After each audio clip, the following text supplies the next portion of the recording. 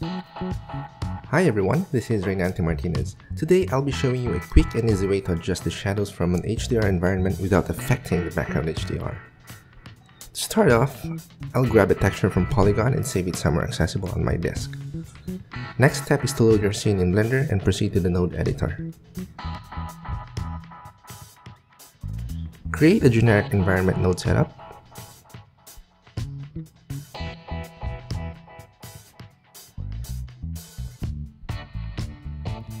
Then load the sky texture that we downloaded from Poliigon.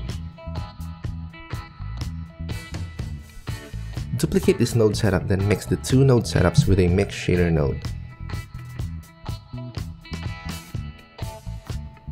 For this technique to work correctly, we'll be adding a light path node. Go to add, input, then select light path. Connect the is camera output to the mix shader's factor input. Now, when you adjust the rotation values of the upper HDR node setup, you'll notice that the shadow orientation changes, but the background HDR stays the same. So cool.